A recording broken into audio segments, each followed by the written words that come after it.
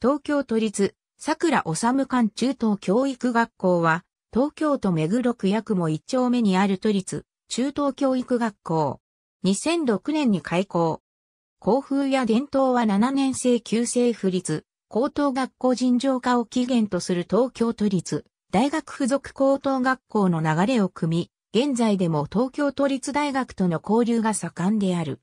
校名は、旧制府立高校から受け継がれている桜の交渉に由来する。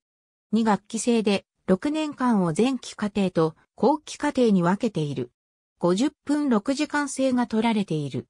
大学進学重視を前面に打ち出しており、土曜日や長期休業中の補修、講習の充実が図られているなど、学力向上を図っている。英語の副教材にはプログレスを使用。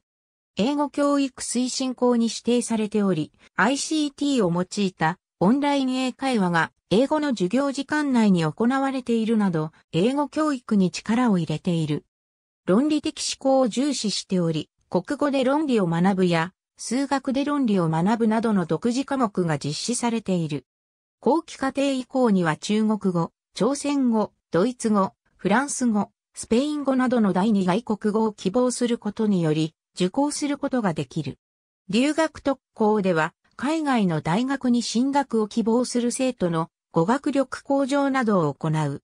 校則については、規則というよりも、マナーという考えがなされ、特に後期課程ではその流れが色濃く残っている。制服はヤクモの木々を意識した新緑色のブレザーで、男子はスラックス、女子はスカート、またはスラックスである。前期課程は灰色が貴重なネクタイリボン、後期課程は紺色が貴重なネクタイリボンを着用する。主な学生科として挙げられるのが青春というである。首都大学東京の応援歌としても伝承しているが、桜治館中等教育学校では現在はほとんど使われることはない。高い知性、広い視野、強い意志を含む真理の探求が教育目標である。